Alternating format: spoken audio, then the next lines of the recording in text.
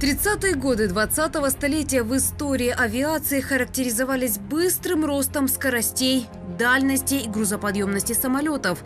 Эти успехи во многом обеспечивали двигатели. Без них самолеты не летают. Поэтому развитие авиации неразрывно связано с прогрессом в двигателестроении. Конце 20-х годов все еще продолжался импорт значительного числа моторов не только для обеспечения эксплуатации импортированных ранее самолетов, но и для строящихся и проектируемых отечественных. В 1925 году начинаются работы по созданию нового истребителя. Мотором для него был выбран французский звездообразный мотор воздушного охлаждения Гном-Рон Юпитер-6 мощностью 420 лошадиных сил, который требовал высокой квалификации рабочих и мастеров. Производство двигателя было поручено Запорожскому заводу номер 29, ныне Мотор Сич.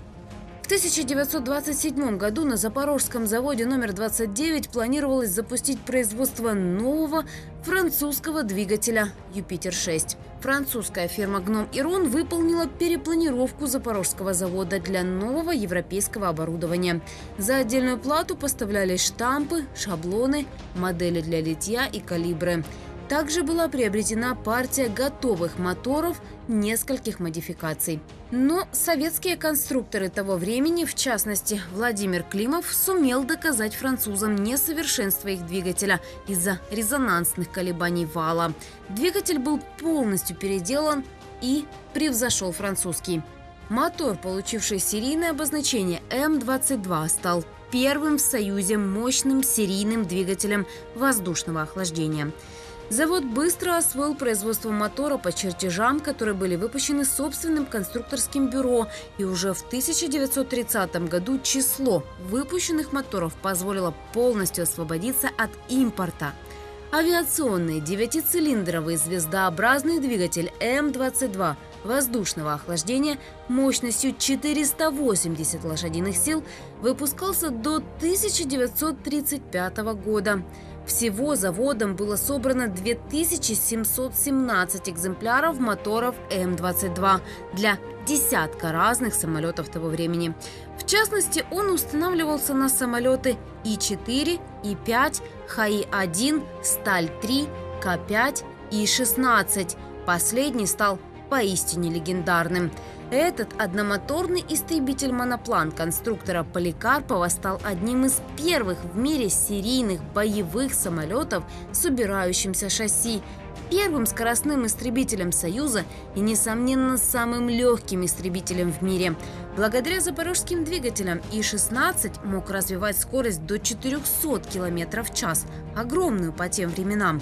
На нем со временем устанавливались и другие двигатели производства иных заводов.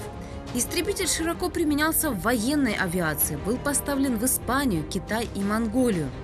В далекие 30-е годы И-16 был самым узнаваемым самолетом в Советском Союзе и обладал многократным титулом «Первый».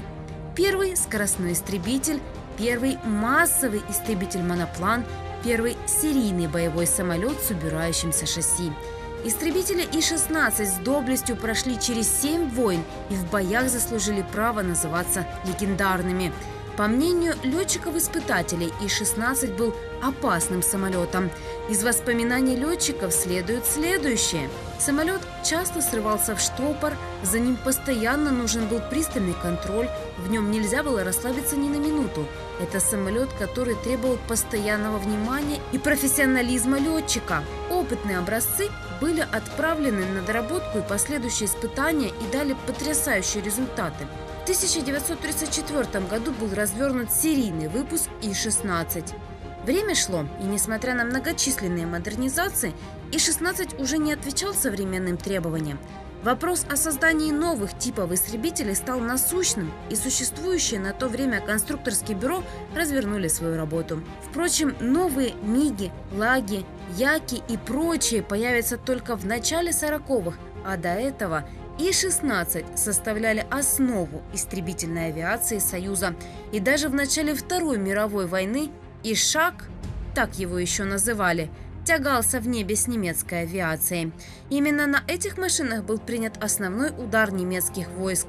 Вступая в жаркие схватки с мессершмиттами, летчики не раз доказывали, что старичку И-16 еще рано уходить на пенсию.